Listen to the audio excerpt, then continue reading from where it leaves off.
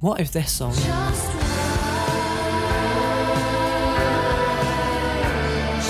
was made into a movie soundtrack?